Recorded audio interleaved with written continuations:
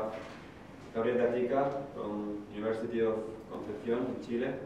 And, and this seminar session today is going to talk us about some ideas in the coping of the virtual element method and the bonding element method to solve linear transmission problems.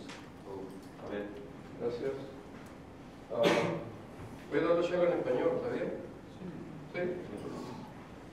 Empezar a ser presentado en inglés. Okay.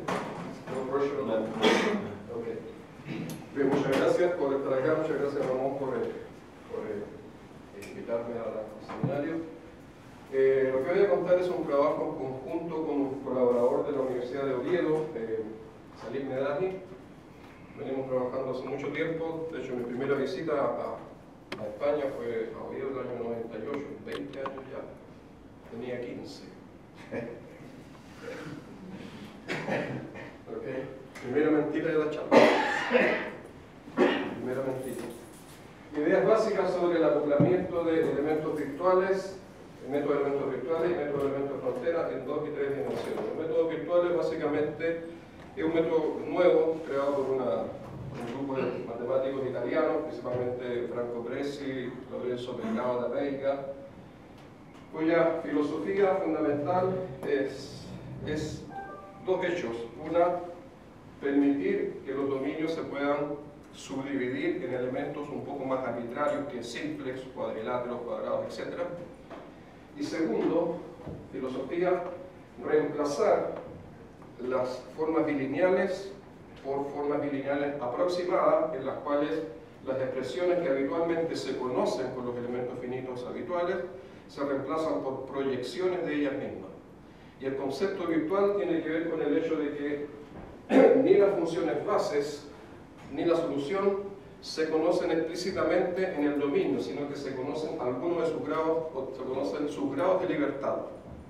Y los grados de libertad son los que permiten calcular esas formas bilineales aproximadas. Y una vez que uno tiene la solución virtual, que repito, no es conocida explícitamente, sino que solo a través de sus grados de libertad, lo que uno hace es proyectar esa solución virtual y eso es lo que uno muestra como solución finalmente del, problema. Y lo que, el método virtual no es un método que, que hemos creado nosotros, simplemente lo que estamos eh, proponiendo es, dado que es un método nuevo, un, juguete nuevo, como dice Franco Greci, eh, ver qué pasa si lo acoplamos con el método integral de frontera, el método de elementos de frontera que se basa en la fórmula de representación de X. Y entonces la charla la, la he subdividido en tres eh, tópicos. Primero un problema modelo bastante simple, explicamos en qué consiste el acoplamiento en dos dimensiones y después hacemos la diferencia con tres dimensiones. La, la razón de hacer la diferencia entre dos y tres es porque uno de los, de los grados de libertad de las soluciones virtuales son sus valores en la frontera, que son polinomiales. Uno conoce su traza, conoce por ejemplo su laplaciano, conoce algunos de sus momentos, que son integrales contra polinomios. ¿Okay?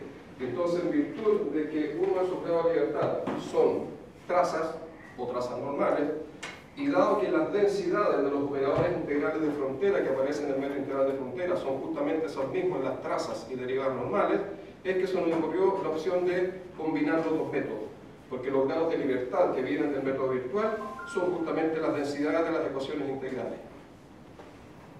Entonces, problema modelo, bastante sencillo, hay un cierto dominio en R2, omega 0, con frontera gamma 0, hay un dominio exterior, que es el, el y entonces eh, hay una frontera aquí, gamma, que separa esta región anular omega de la región exterior omega e. Y lo que uno tiene, entonces, básicamente, aquí tengo la ecuación de Poisson, perdón, aquí en, en, omega tengo la ecuación de Poisson acoplada con la ecuación de Laplace en la zona exterior. Básicamente, entonces ahí tengo divergencia K gradiente igual a F en la región anular, una condición de contorno aquí en, en gamma 0, condiciones de transmisión van a ver aquí en gamma y en el infinito van a ver ciertas condiciones de radiación. Aquí están las dos condiciones de transmisión, igualdad de las trazas y de las trazas normales. Aquí está la ecuación de Laplace en, el, en la región exterior, homogénea, que es precisamente lo que permite aplicar el método integral de frontera a partir de la fórmula de representación de Green. Y el comportamiento de la solución al infinito, que es una especie de condición de Dirichlet al infinito, que es típico para los métodos integrales de frontera. El dato f es un dato L2, K es una función que lo suponemos el infinito, acotada inferiormente y superiormente. Entonces, la parte básica del método integral de frontera es conocer lo que se conoce como la solución fundamental. ¿Qué es lo que la solución fundamental del lograr de Laplace? Es aquello cuya, cuyo laplaciano es la distribución delta Dirac. Fijas una variable, la x, y es laplaciano, entonces, el laplaciano de esto es la delta en n. La solución fundamental se conoce para d igual 3, para d igual 2, el logaritmo, x menos y, y en virtud de la solución del conocimiento de la solución fundamental, uno puede expresar a través de la fórmula de Green la solución en la zona exterior, en, omega e, en función justamente de estas integrales sobre la frontera de transmisión gamma, donde aquí el kernel de estos operadores integrales es la derivada normal de la solución fundamental y acá la solución fundamental como tal.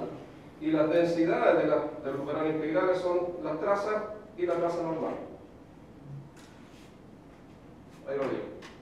Gamma es la traza sobre gamma actuando desde omega o desde la parte exterior y lambda es la traza normal. Entonces, obviamente, el, método integral de frontera consiste, una vez que uno tiene esta representación en toda la zona exterior, obviamente conocer las densidades, conocer la traza y conocer la derivada normal. Y esta es la idea simple que nos motivó a ver qué pasaba al hacer el acoplamiento con los métodos virtuales, porque justamente esta traza es uno de los grados de libertad que se conocen del método virtual. No obstante, como voy a mostrar al final, en el caso de R3, al final hacemos una separación casi completa entre lo que es virtual y método, elemento de frontera. En 2D tenemos el, básicamente el acoplamiento a través de esta traza. ¿Cómo funciona ahora el método integral? Esta es una representación que ocurre solamente en la región exterior. Y entonces, obviamente, uno tiene que ahora tomar el límite o la traza hacia la frontera gamma.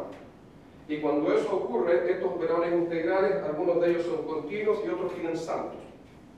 Por ejemplo, este operador, que es el que se llama el de capa límite, simple, es continuo. Si uno toma el límite de esto cuando x tiende a un punto de la frontera, se transforma en este integral donde ese x viene a ser ese punto de la frontera. Sin embargo, si tomo el límite a esto que está acá, cuando x tiende un punto x0 en la frontera, esto genera un salto. El salto es justamente la mitad de la densidad. Esas son las, famosas condiciones de salto de los operadores integrales de frontera. Básicamente lo que está ahí, el salto o la traza de esto genera un medio de esto más del operador aplicado a la frontera y lo de acá se mantiene como tal y cuando tomo perdón, la derivada normal de esto y hago también tender a la frontera, esto es continuo y lo de acá tiene salto. Entonces eso explica esas dos ecuaciones que están ahí. La primera, entonces la traza y genera este salto. Esta es la identidad, un medio de, la densidad, en K es el operador asociado a esa capa límite doble y este B es el operador asociado al operador integral con la solución fundamental. A su vez, cuando tomo la derivada normal, me queda el W, que es la derivada normal del operador por la derivada normal, más, y acá tengo un salto justamente del operador que resulta ahí, que es el adjunto del que está acá. Ya se hizo la expresión esa. Y entonces ahora estas ecuaciones ocurren en gamma. Lo anterior ocurría en omega e, en el espectro. Ahí está entonces la explicación. B, K, transpuesto W son los operadores de frontera de, de los operadores de capa límite singular, doble, adjunto del doble e hipersingular. Y, y D es un operador de identidad genérico. Entonces, usando mis condiciones de transmisión, yo sé que la traza del interior es igual a la traza eh, desde el exterior, por lo tanto eso de ahí se reemplaza por la traza de U y se llega entonces a esa primera ecuación en gamma. Lo de aquí, lo mismo, la traza, la traza de la derivada normal que viene desde el interior coincide con la derivada normal que viene desde el exterior y por lo tanto eso que está ahí también se reemplaza por lambda y se llega entonces a esa ecuación. Y con estas dos ecuaciones entonces las voy a integrar ahora a la formulación de que uno hace en el dominio anular, donde ahí aplico la típica integración por partes, tengo el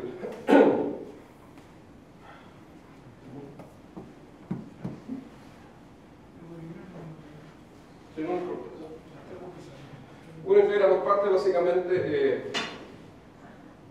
esta, esta ecuación en la región anular, ¿verdad? Entonces cuando integra por parte multiplica por una b en h1, integra por parte y queda acá gradiente de u, gradiente de b, menos derivada normal de u por la traza de b. Esa derivada normal de u se reemplaza, derivada normal de u, se reemplaza justamente por la expresión que está aquí abajo. ¿Ok? ¿Qué es lambda? Se reemplaza por ese operador. Y esto de acá se testea tal cual. Esto que está aquí, voy a mostrar a continuación, es una igualdad en h menos un medio. De modo que, si le llamo entonces eh, con este símbolo a la paridad dual entre h menos un medio y h un medio, le llamo h0 un medio a las cosas de h un medio que tienen media nula, y de manera análoga para h0 menos un medio. Aquí recuerdo entonces las propiedades de continuidad que tienen esos operadores integrales de frontera. El operador de capa simple va de h menos un medio en h un medio. El operador de capa doble va de h un medio en h un medio. Esto es para, para, para frontera elipse continua. Si la frontera fuera más suave, esto sería más suave también, pero estamos pensando en elipsis. El, el adjunto de, de K va a ir obviamente del dual de este, que es h menos un medio, en el dual de ese, que es h menos un medio y el W, que es el hipersingular, va de H medio en H menos medio. Esas son sus propiedades de continuidad. Y aquí están sus propiedades de positividad.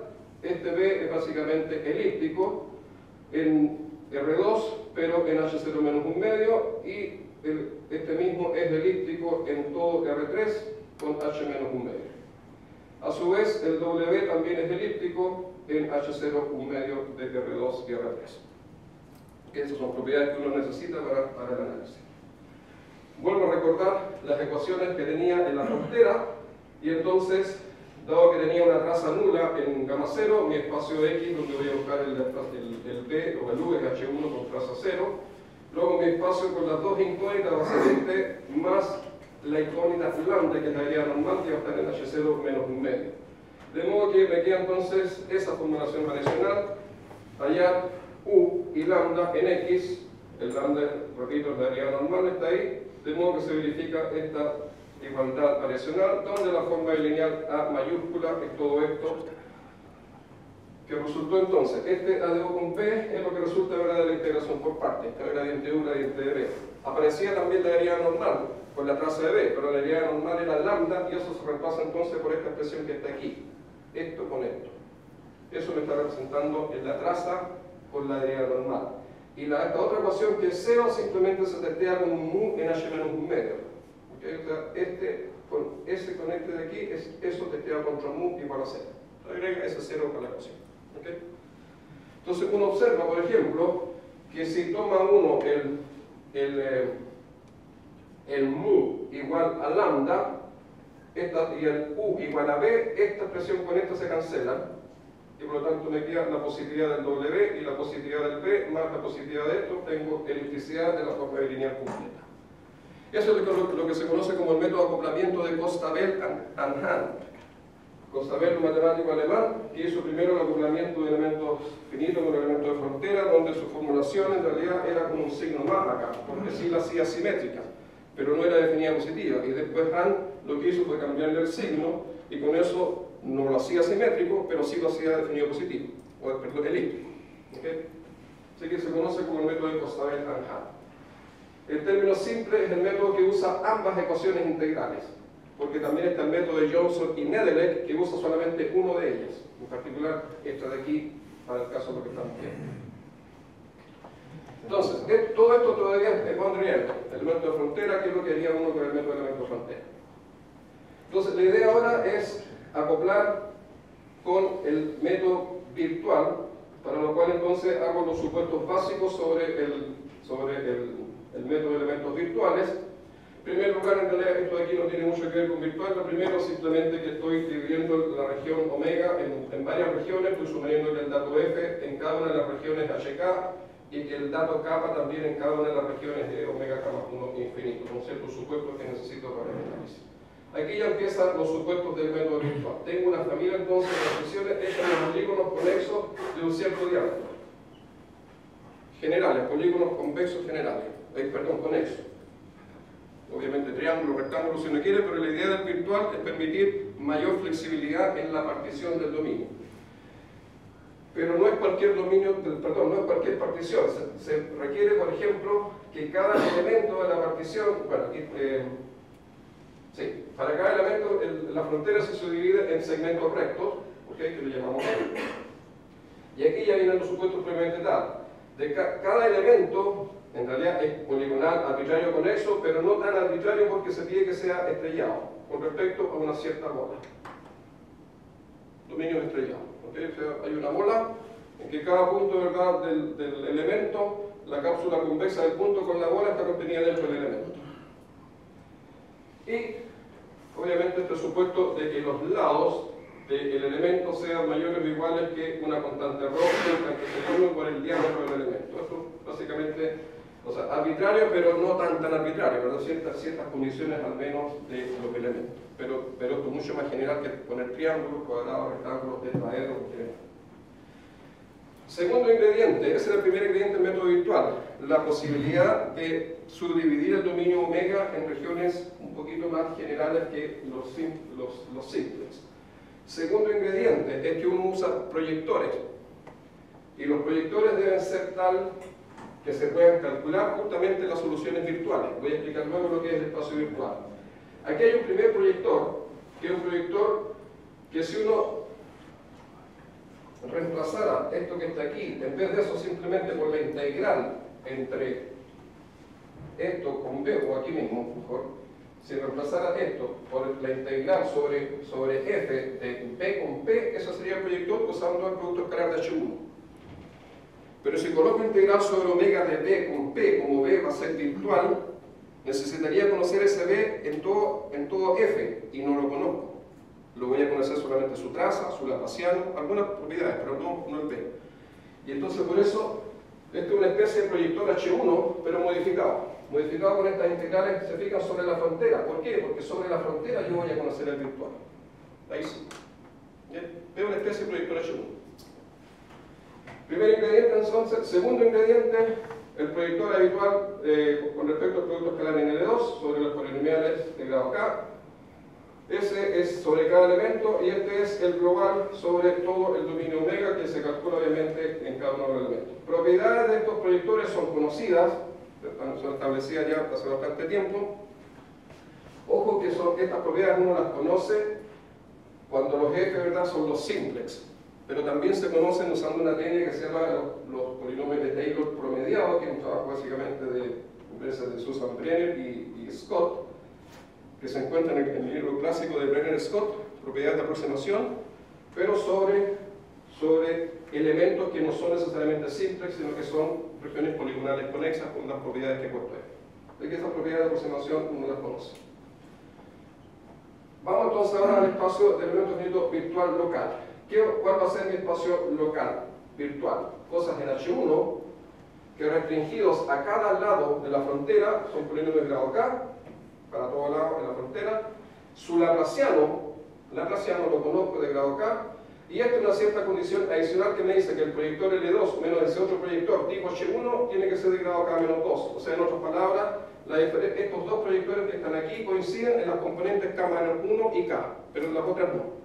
Y eso se necesita básicamente para la unisolvencia, ¿no? ¿Verdad? Que todos sabemos que un elemento finito local, y este es un elemento finito local, pero es virtual, necesita cierta propiedad de unisolvencia, ¿verdad? Ser identificado únicamente en base a grados de libertad.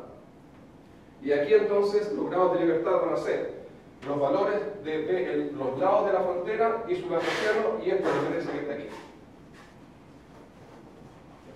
Y eso se puede, de hecho, calcular, eh, probar la y aquí lo he puesto más explícitamente, en función de estos grados de libertad.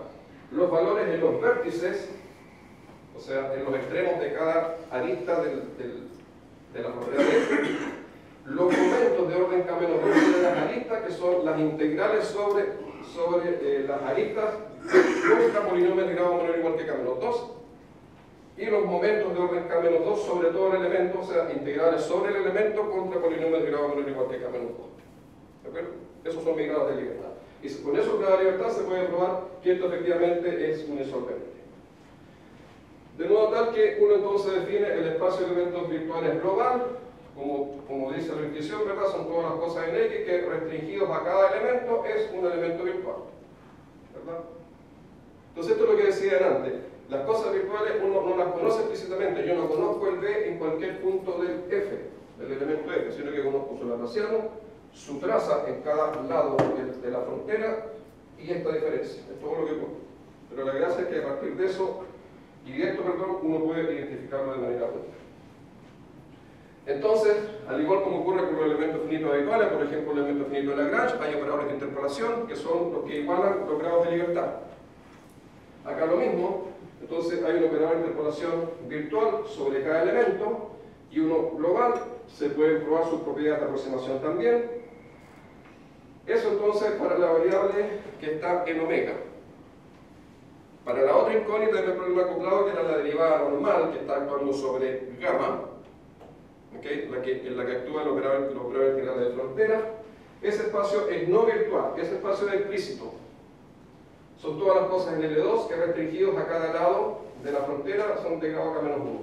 ¿Qué que tener media nula? Eso es la condición H0 menos un medio. Sobre este espacio no virtual también se conocen ciertos operadores de proyección, K menos 1, pues, eh, polinomiales arrosos de grado K menos 1. Aquí hay sus propiedades de aproximación, también las tengo aquí para un, espacio eh, quebrado, que porque estoy suponiendo que la frontera la puedo dividir en segmentos rectos, toda la frontera gamma, de modo que supongo cierta regularidad eh, en cada uno de los tramos. Y bajo eso uno tiene una propiedad de aproximación también para este espacio que me va a aproximar la incógnita de esta derivada normal, que es no virtual. Esta es explícita. De entonces, ah, y el otro ingrediente que me falta para el, para el, eh, el, virtual mismo es que, como decía recién, la forma bilineal original local era integral sobre el elemento K gradiente de U por gradiente de B. Pero el gradiente de U cuando, o gradiente de B, cuando el B es virtual no lo conozco. Su laplaciano sí, pero el gradiente no. ¿Okay? Y entonces lo que hace el método virtual es en vez de colocar la forma bilineal discreta, en vez de colocar K gradiente de B por gradiente W, coloca el proyector de gradiente, el proyector de gradiente. Y se puede probar fácilmente que el proyector K-1L2 de gradiente con B virtual sí se puede calcular explícitamente, en función de sus grados de libertad. Pero si yo reemplazara solamente la forma bilineal discreta por esta expresión que está aquí, esto no me resulta estable, no me da toda la positividad que necesito, porque estoy proyectando. Y entonces por eso surge este término estabilizador que está acá, que es una forma bilineal, que se calcula de esa manera y que tiene ciertas propiedades. Por ejemplo, de que eso se comporta como una forma bilineal continua, pero cuando lo que está aquí tiene un proyector cero, que es justamente, por ejemplo, lo que está ocurriendo acá. El proyector de esto, que obviamente por la condición de ordinalidad, eso va a ser va a ser cero. Así que en particular, esto que está aquí se va a comportar como la forma bilineal continua en esto con lo mismo que está ¿Ok? Entonces, reitero, proyección, pero eso no es suficiente, hay que estabilizar para obtener la positividad que requiere la forma bilineal completa. ¿Ok? Esa es entonces la, la forma bilineal local y aquí obviamente la global es la suma sobre todos los elementos de esta forma bilineal discreta local. De modo tal entonces que mi esquema completo, acoplado, virtual, elemento de frontera, se transforma en esta formulación que tengo aquí, donde la forma bilineal a sub h, aquí aparece todo lo que es vector integral de frontera, se fijan la traza de UH, la traza de BH, y esto no está proyectado, porque como estoy explicando, en este caso en 2D, la traza de UH y la traza de BH, aunque sean virtuales, son conocidas, son polinomiales. De modo que esto se reemplaza tal cual, no hay que aproximar. Lo que se aproxima es el A sub H. ¿Okay? Es, lo que expliqué recién. De modo tal que, obviamente, cuando yo analice, analice, el error de la formulación continua con esta discreta, voy a aplicar estimaciones de Strang, porque mi forma bilineal discreta no es la misma que la continua. Ahí está la modificación, justamente en lo virtual. Eh, y de hecho aquí recuerdo, aquí recuerdo la continua. ¿Se fijan? Todos estos términos sobre la frontera, asociados a los operadores de la frontera, coinciden. De modo que cuando haga la estimación de Strang típica, ¿verdad? me va a quedar simplemente la diferencia entre esta y esta. ¿Verdad? Porque lo demás coinciden. Entonces, aquí viene una serie de lemas técnicos que permiten probar justamente para que mi esquema de discreto sea eh, estable, de ciertas condiciones de agotamiento, tanto en la forma lineal discreta, ¿verdad? Aquí la positividad. Y eso entonces, aquí hay una pequeña explicación, un poco lo que estaba diciendo delante. Cuando yo tomo las dos variables iguales, si la forma lineal discreta local lo hubiera escrito simplemente como K, proyección de gradiente, proyección de gradiente, eso no es suficiente porque me habría quedado simplemente esta expresión. Y por eso que aparece el término estabilizador. Y este me genera la diferencia adicional, que es la que está apareciendo acá. De modo tal que cuando junto entonces lo que viene de aquí por lo que viene de acá, efectivamente obtengo finalmente la norma H1, o seminómula, que es lo que se necesita. Y eso, esta es la explicación, breve explicación de lo que pasa localmente con esta propiedad que está ahí. Y con eso entonces, Lax tengo efectivamente solución virtual, existencia de una única solución virtual. Análisis de error. Lo que estaba comentando recién. Aplico el primer lema del tramo, ¿verdad? Y eso es verdad que la diferencia no es igual que el íntimo. Y acá entonces, acá tendría que aparecer la diferencia de las normas entre la fórmula bilineal A y la A sub H. Pero como estaba explicando recién, cuando uno hace esa diferencia, lo único que difiere es la parte virtual. Por eso que la, parte de los operadores integrales es lo mismo, así que eso se cancela. De modo entonces que cuando uno escribe la estimación de Strand, queda solamente la diferencia entre los A, el A y el A sub H. Y esto se puede estimar, aquí creo que tengo una explicación sobre ello. Aquí hay un término también de error respecto al dato, porque el F también tengo que proyectarlo, de modo tal que, suponiendo entonces ciertas regularidades de la solución eh, eh, particionada en, cada uno de los, omega i, que era una partición global del, del omega, el interpolante virtual efectivamente se puede calcular, bajo el supuesto de que el área normal es un poquito más suave que es quebrado H1 medio, por lo tanto está en L2, entonces puedo calcular efectivamente su proyector L2 contra los polinomios de grado K-1, o sea, esto efectivamente se puede calcular, y entonces este ínfimo que está aquí se agota eligiendo pH y MUH justamente como esto y esto, porque estos son factibles y están ahí. Y eso entonces genera esa presión que está ahí. ¿Verdad? De modo que después uno juega con esto, y eso es lo que voy a explicar aquí un poquito, aquí se suma y se resta, que es más o menos clásico, ¿verdad? Esta es la diferencia global, esta es la diferencia local. Y la diferencia local uno suma y resta el, un proyector u otro proyector y acota cada una de las componentes, acota cada una de las componentes. Esta diferencia también se puede acotar bajo cierto supuesto de regularidad y en definitiva entonces uno obtiene la estimación de error bajo cierta regularidad para el U y para el F, aquí tengo mi estimación de error global, tanto para la solución con las normas originales y aquí también tengo, he puesto la estimación en norma L2, que como es habitual, que el elemento finito, ¿cierto? Esa se hace con argumentos de dualidad.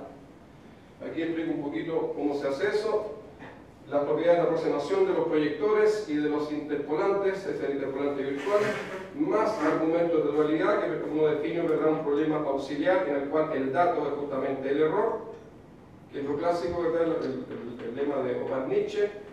En base a eso, uno puede estimar la norma L2 del error.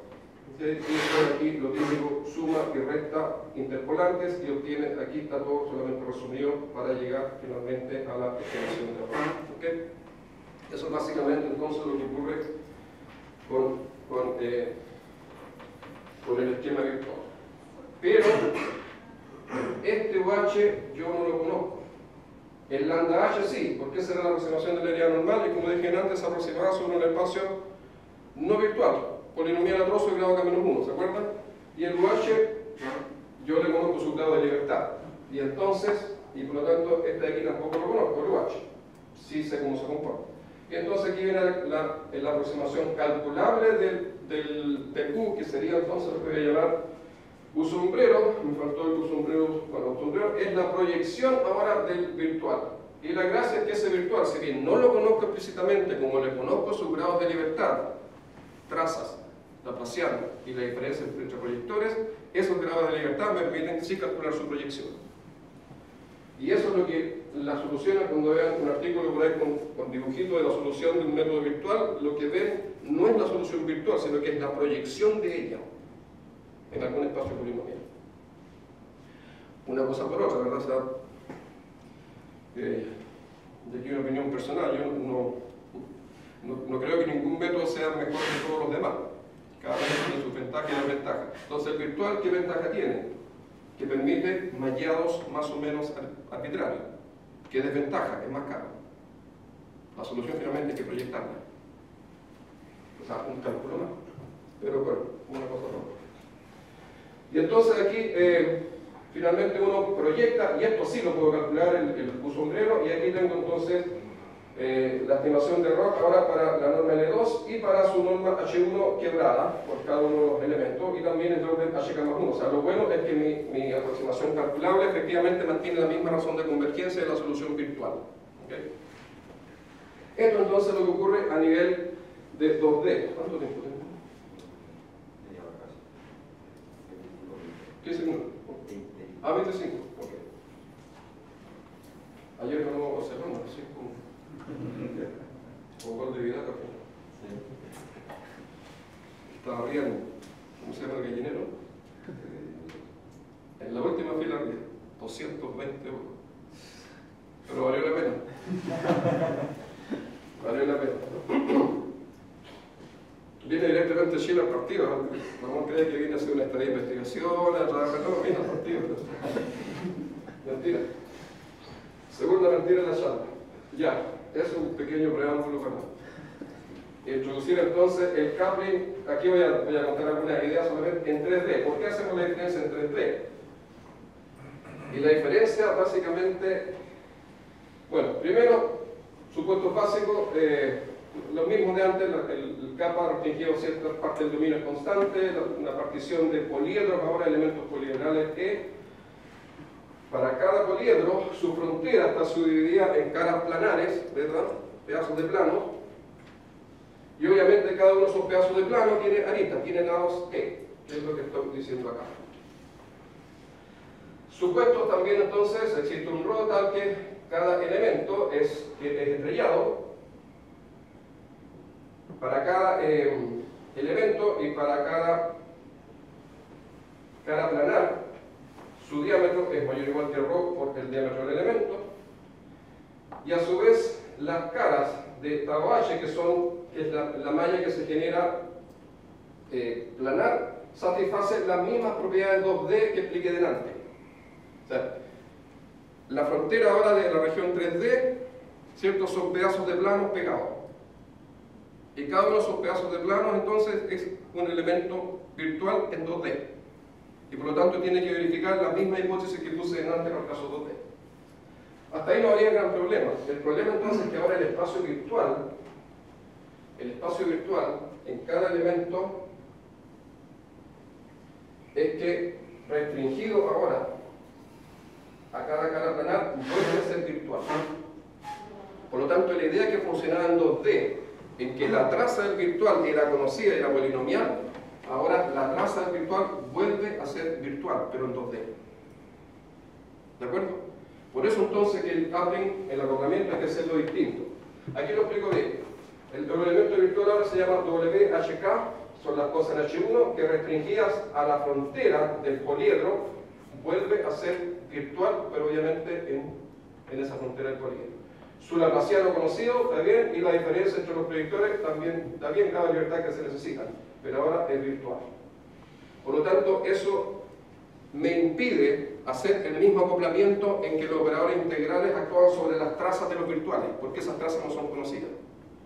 Entonces, la primera idea intuitiva que uno haría, ok, reemplacemos esas trazas por proyecciones, que es lo que hace el virtual en general.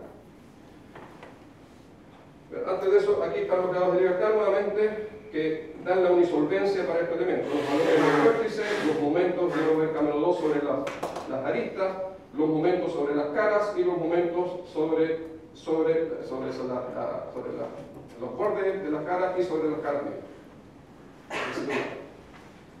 Entonces, eh, ¿qué es lo que hacemos acá? Agregamos entonces una malla simplicial de gama obtenida uniendo cada vértice de las caras con el baricentro o con el, con el centro de la bola con respecto al cual es estrellado. Y por lo tanto, entonces, ahora definimos proyectores ortogonales, también ahora sobre el espacio polinomial de grado K-1 sobre esta nueva malla, pero en la frontera. Y también consideramos el interpolante, de Lagrange, el típico, ¿verdad?, de orden menos igual que K, sobre estos triángulos que se forman en la frontera. O sea, sobre la frontera que tengo caras planares, hago una malla 2D, clásica, ¿ok?, con triángulo. Entonces, ¿por qué necesito una nueva formulación versional? Lo que estaba explicando recién. Por ejemplo, este término que aparece en el coupling, en el acoplamiento con el método integral de frontera, que es el mu identidad menos k, gamma, traza de BH, no es calculable, porque esta traza ahora vuelve a ser virtual. Entonces, la primera idea es reemplazar eso por un proyector. Pero si hago eso, pierdo exactitud. ¿Por qué? Porque el k no me, no me da ninguna regularidad adicional. No sé si se recuerdan, al comienzo puse las propiedades de continuidad del operador K, iba de H1 medio en H1 medio, no me daba nada más. Y si no tengo más, no voy a tener razón de convergencia. ¿Me sigue? Entonces no puedo, pierdo, pierdo exactitud. Por eso entonces esta primera idea intuitiva no funciona. Y entonces lo que sí funciona, y es lo que hicimos finalmente, fue, sin darnos cuenta, inventar una nueva manera de hacer el coupling, que es una tontera, en todo caso, porque habitualmente el coupling de elemento finito con elemento de frontera se hacía o bien introduciendo la derivada normal como incógnita de frontera, en el método primar, que es el que expliqué en la primera parte, o bien introduciendo la, la, derivada, perdón, la traza como, como incógnita, que era cuando se hacía un método mixto, que también se puede hacer. O una de las dos.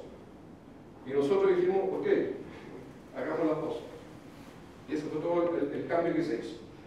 Para sorpresa nuestra, revisamos la bibliografía anterior de Costabel, de Hart y de Johnson Nell y todos los métodos de acoplamiento y ninguno había hecho de esta manera. Bueno, nosotros lo tuvimos porque nos, es cómodo para acoplarlo con el virtual. Y por la razón entonces que ahora, entonces tengo el lambda que ya lo tenía de incógnita e introduzco entonces la traza también como en incógnita. Pero esas incógnitas ahora las voy a buscar en espacios no virtuales. Por eso lo que decía antes, en 3D como que finalmente, si bien la idea original era acoplar los métodos, en 2D funciona. Porque la traza del elemento finito es justamente el, perdón, la traza del elemento virtual es justamente la densidad de los parámetros de frontera que se puede calcular. Pero en 3D esas trazas vuelven a ser virtual y entonces finalmente separamos. O sea, consideramos nuevamente en el medio final de frontera dos incógnitas, la área normal y la traza virtual. Entonces aquí he escrito las mismas ecuaciones integrales que tenía antes, de, esa, esta manera, pero ahora en vez de traza de u he puesto phi, eh, perdón, psi, ¿ok? Y entonces aquí uno llega a una nueva formulación versional. Aquí he puesto básicamente lo que uno obtendría cuando integra por parte, ¿verdad? Acá gradiente U, gradiente B, más la traza normal de U con la traza del B, que es este, el lambda con gamma de B. Y este es lambda con menos phi, con menos, o sea, lambda más phi, y hay menos lambda con phi, eso se cancela, pero lo he puesto aparte. Y esto que está aquí es simplemente el testeo de esta ecuación, psi igual gamma de u, testeado débilmente contra un mu en h menos un medio. Y la gracia es separar entonces que ahora ese lambda que está ahí, lo reemplazo por esa expresión. Y esto se testea tal cual como se hizo antes con el mu. De modo tal que queda una forma variacional distinta. Los últimos cuatro términos son exactamente los mismos que teníamos en el coupling en 2D, excepto que en vez de traza de U y traza de B, aparece psi y aparece función 3 phi. ¿Okay? Y esas son incógnitas ahora explícitas en la frontera. Y la otra diferencia es que aquí entonces mi forma de lineal A resulta entonces la misma de antes, pero ahora menos esta. Y la suerte nuestra, esta efectivamente no produce ningún daño porque cuando tomo U igual a B y lambda igual a mu, estas dos se cancelan. Por lo tanto, la positividad del lambda y del mu la sigo obteniendo a través de los operadores integrales de la frontera, a través de este y este que está aquí, porque también estos dos se cancelan cuando tomo lambda igual a mu y eh, bar phi igual a psi. ¿Ok? sigue siendo esto. Desde el punto de vista del interés original nuestro, pierde un poco de interés, valga la redundancia, porque como que se separan los métodos, ¿verdad? Pero bueno, es lo que resultó. Y entonces a nivel discreto, la idea nuevamente sigue siendo el reemplazar, ¿verdad? Se fijan, acá tengo mis, mis espacios eh, discretos tanto para la traza como para la idea normal. Aquí va a aparecer la, novedad virtual, que aparece el A sub H, el mismo que estaba antes, y ahora entonces aparecen estos dos términos que están ahí. Esos dos que están ahí simplemente son la aproximación virtual de estos dos que están aquí. Como la traza de B no la conozco, esto se reemplaza por una proyección. Y esta de acá también. Está todo esto, y esto de aquí también. Entonces, eso es lo que explica lo que está ahí. Proyección y proyección. ¿Sí? Está reemplazando eso. Y esa es la de Se puede probar nuevamente que esa forma lineal es acotada y elíptica, y nuevamente usando el primer lema de Strand, uno tiene entonces esta estimación de manera análoga a lo que observé delante a nivel de las formas bilineales esta nueva A y la nueva A sub H, la única diferencia va a estar en esta A negrita y la A sub H negrita, porque todo lo demás es lo mismo. ¿Okay? No hay no conformidad, sigue siendo lo mismo, así que eso se cancela. Por eso eso explica que la estimación de Strand, en la estimación de Strand aparece justamente solamente la diferencia entre este y el de acá y de manera análoga a lo que expliqué delante, eso se usa, hay un ínfimo y ese ínfimo se acota por una elección particular de las cosas sobre las cuales se toma el ínfimo y esas cosas son interpolantes, son justamente ahí interpolante virtual, interpolante Lagrange e interpolante L2. Aquí hay que jugar un poco más, pero básicamente algebraico, sumar y cosas para llegar finalmente a una cierta eh, estimación preliminar en que depende de interpolante, de, interpolante, interpolante, proyector, proyector, proyector, interpolante, proyector, interpolante Lagrange, propiedades conocidas y entonces uno tiene finalmente, bajo supuestos de regularidad adecuados, uno obtiene usando, aquí hay que usar ciertas, por ejemplo, estas desigualdades de traza discreta que es conocida, ¿verdad? Esto es súper conocido en el caso de simplex, pero también existen para elementos virtuales. ¿verdad? Es la que acota la traza L2 por la norma L2 y por la seminota. ¿Por qué necesito esa traza inversa? Justamente para manejar esto que está aquí. Aquí tengo una traza. Y eso me va a permitir acotar esa presión D. En definitiva, bajo eso entonces uno puede obtener la estimación de error de orden HK. No he puesto nada acá, también se puede hacer la estimación de error en L2 y también se puede hacer la estimación de error para la aproximación completamente calculable, que es nuevamente la proyección de la virtual. Pero aquí ahora tengo dos espacios que son no virtuales, el espacio de trazas y el espacio de la traza normal, que es polinomial en otros. Finalmente, y con eso termino, eh, las cosas que estamos haciendo no yo ni Salim, sino que un estudiante está haciendo resultados numéricos sobre esto. Lo que, si trabajé con Salim, me movió en, en, esto un poquito, estamos haciendo para la ecuación de Helmholtz, también idea de acoplamiento de Ben al Ben para Helmholtz. Eso tiene obviamente bemoles distintos porque obviamente no hay positividad completa, pero si hay una perturbación compacta, entonces hay que recurrir a ese resultado de estabilidad de Galerkin cuando tienen una perturbación compacta. ¿Sí? Un resultado clásico conocido. Lo que también tenemos algo en camino es eh, hacer mixtos, ¿verdad? Para la parte virtual.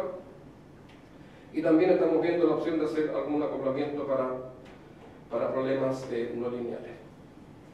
Finalmente, algunas de las referencias claves eh,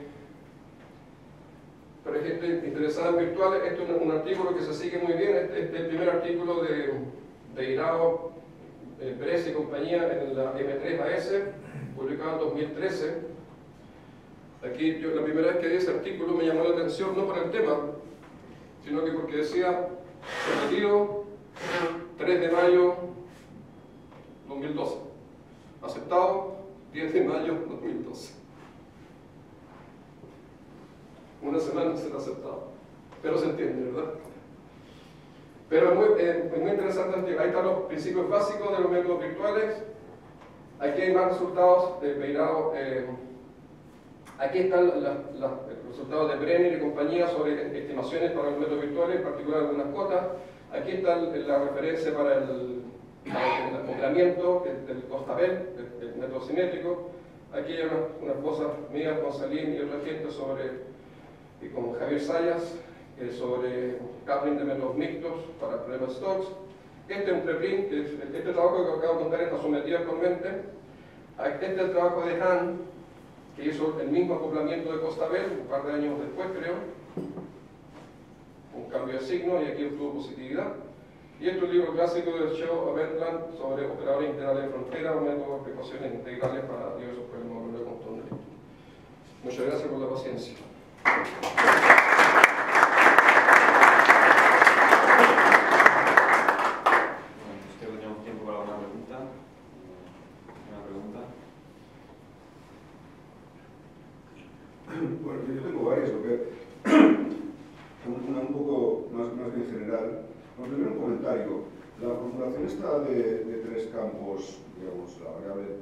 la traza y el flujo, digamos, quizás el, el, problema este de, de, acoplamiento con PEN, no lo sé, pero el problema es, digamos, es, ah, sí, sí. Es sí, sí, sí, sí, sí, yo me refería solo a la idea de cambio. De, de, la de cambio, sí.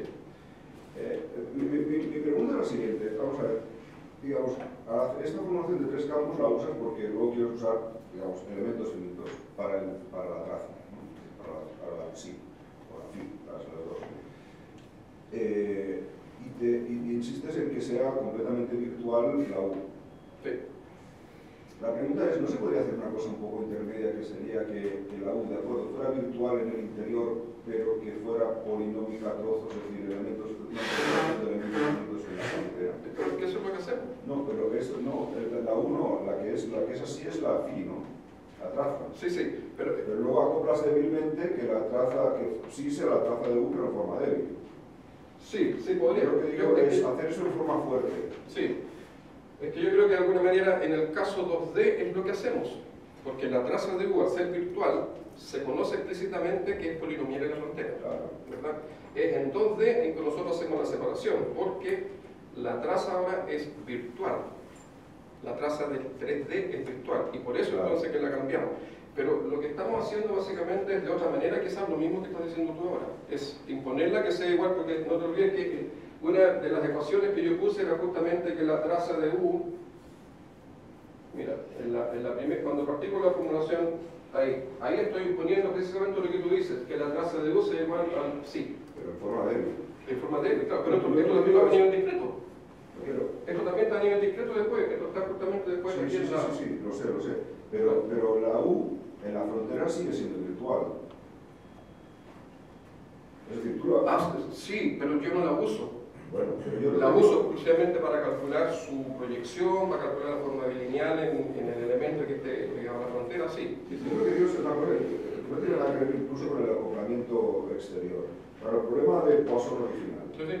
que la U, que bueno, que sea virtual en el interior, pero que la frontera sea en los, en los ejes un polinomio, en, la- en las- en los ejes de las, de las caras de contorno un polinomio, y en las caras de contorno, en vez de ser virtual, que sea una función de elementos finitos clásicos.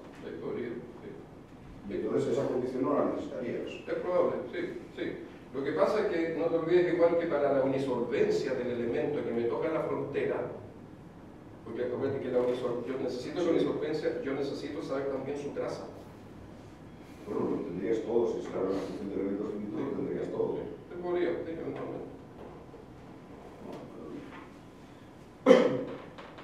Y te- tengo más preguntas, pero voy a hacer otra. Una más. Sobre, claro, eh, eh, esto de cambiar la, es- esta forma bilineal, claro, es, es no simétrica, como esto lo has hecho Sí, sí. todo, que yo no Elíptica, pero no simétrica. Claro, y eso te permite tener electricidad, ¿no? Eh, pero es un poco feo que para problemas simétricos te queden, eh, digamos, problemas originalmente, digamos, simétricos te queden en forma no simétrica. Para la simétrica tendrías como una condición insur, ¿no? Sí. De, de hecho, de hecho, si uno mira los trabajos de Costabel y, y Han, cuando lo hacen, al final, al final se topan. Porque, como tú dices, uno, uno prueba con Lax Migran y el otro prueba con el, con el Lax Migran generalizado. Claro.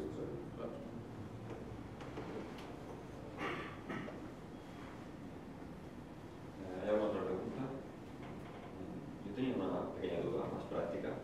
Los métodos virtuales he visto a veces que se utilizan, por ejemplo, para problemas de, contacto, porque la malla tiene que ser pues, muy particular según en qué, en qué zonas.